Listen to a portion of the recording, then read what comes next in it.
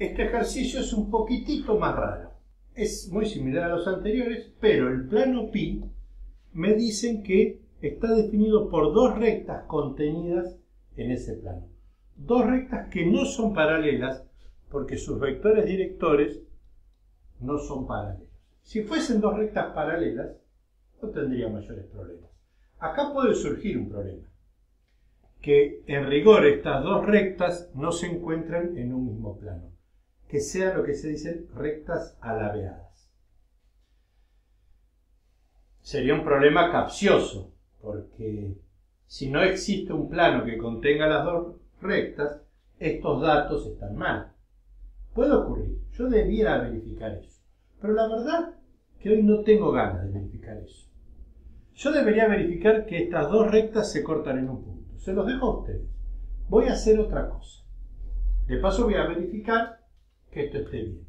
A ver, a esta recta la llamo L1, a esta la llamo L2, este es el plano pi.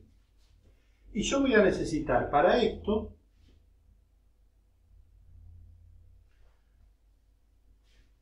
un vector normal al plano. Ese vector normal, me lo imagino así,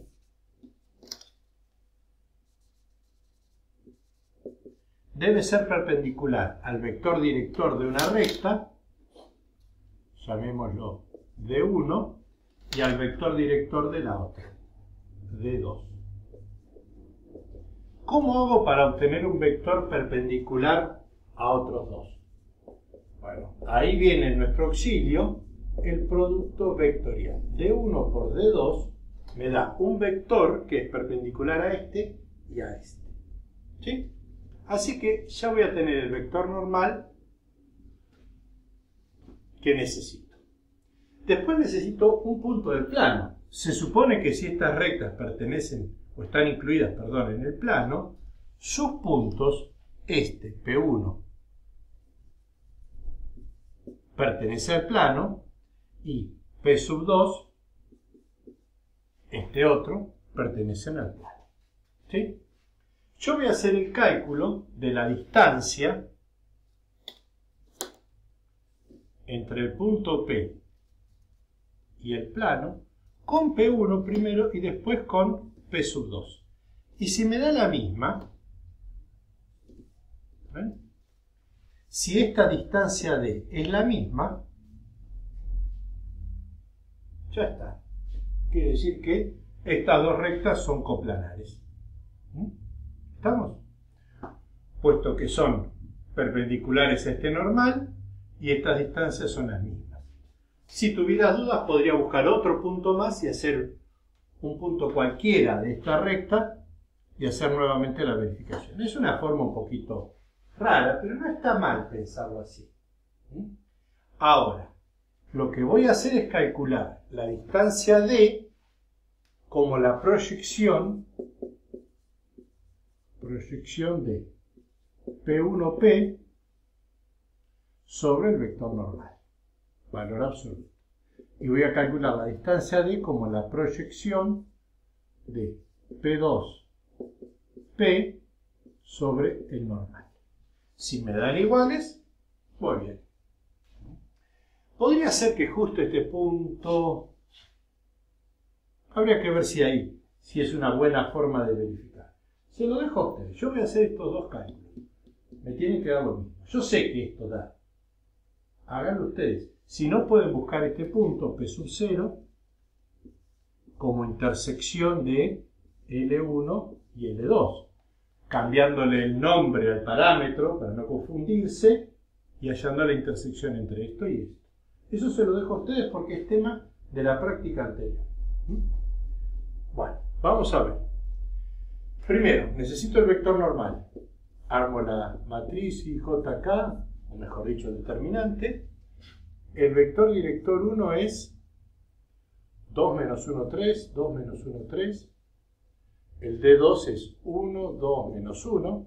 Lo saco de acá. Hago este producto escalar, me queda. En I es 1 menos 5, 1 menos 6, perdón. En I en J menos 2, menos 3 es menos 5, con un menos adelante es más 5, y en K me queda 4 más 1, 5. O sea que este vector es menos 5, 5, 5. Ese es el vector normal, perpendicular a D1 y a D2. Si quiero sacarme la duda, rápidamente hago el producto escalar entre esto y cada uno de estos dos vectores. Menos 5 por 2, menos 10. Menos 5 por 1, menos 5, o sea, menos 15 llego hasta ahí. 5 por 3, 15. Si sumo 15 a menos 15 me da 0. ¿Qué estoy haciendo? Verificando que esto sea perpendicular con este, con el producto escalar. Ahora voy a hacerlo con este otro. Menos 5 por 1, menos 5. 5 por 2, 10. 10 menos 5, 5. Menos 1 por 5, menos 5. Si lo sumo al 5 me da 0. Listo. Esto está bien.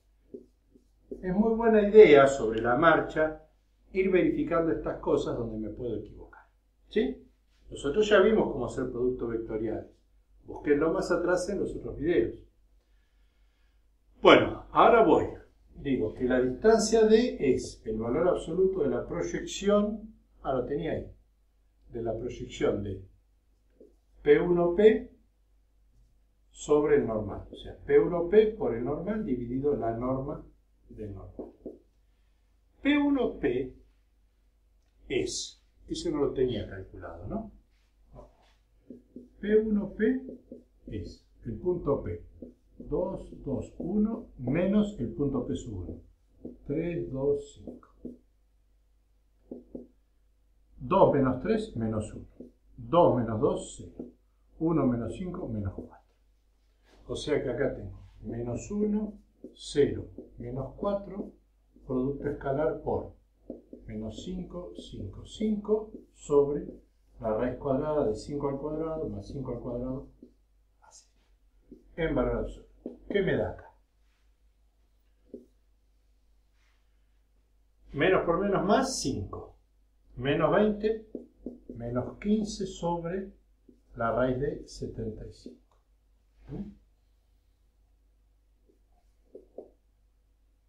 Es el valor absoluto de 15 sobre la raíz de 75. Si yo lo racionalizo, me queda 15 raíz de 75 sobre 75. ¿Sí? Esto da 6, 5, perdón, 5 por 15, 75 me queda. Raíz de 75 es raíz de 3 por 25 sobre 5.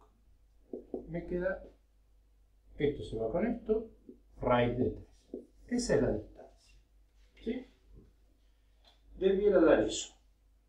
Vamos a hacer el otro ahora.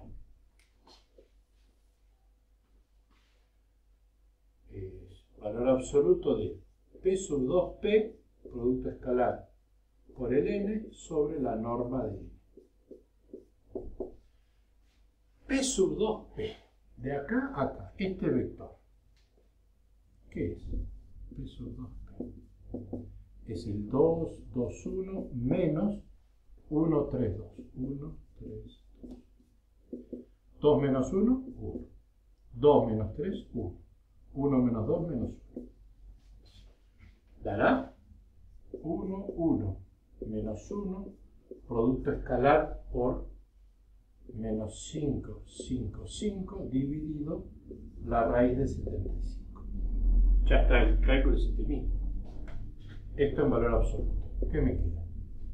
Menos 5 más 5, menos 5. O sea, menos 5 sobre la raíz de 75.